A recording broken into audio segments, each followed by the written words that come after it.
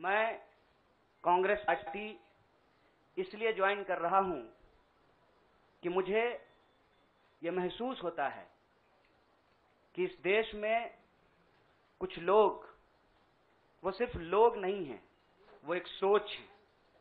वो इस देश की सत्ता पे ना सिर्फ़ काबिज हुए हैं, इस देश की चिंतन परंपरा, संस्कृति, इसका मूल्य, इसका इतिहास इसका वर्तमान और इसका भविष्य खराब करने की कोशिश कर रहे हैं।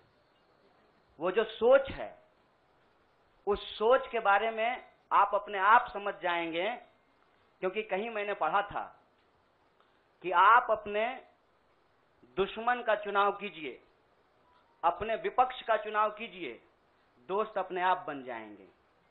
तो हमने ये चुनाव किया है। हम इस देश की सबसे पुरानी पार्टी सबसे लोकतांत्रिक पार्टी, मैं ज़ोर देकर के बोल रहा हूँ लोकतांत्रिक पार्टी, ताकि आप लोग परिवारवाद पे सवाल ज़रूर कीजिएगा।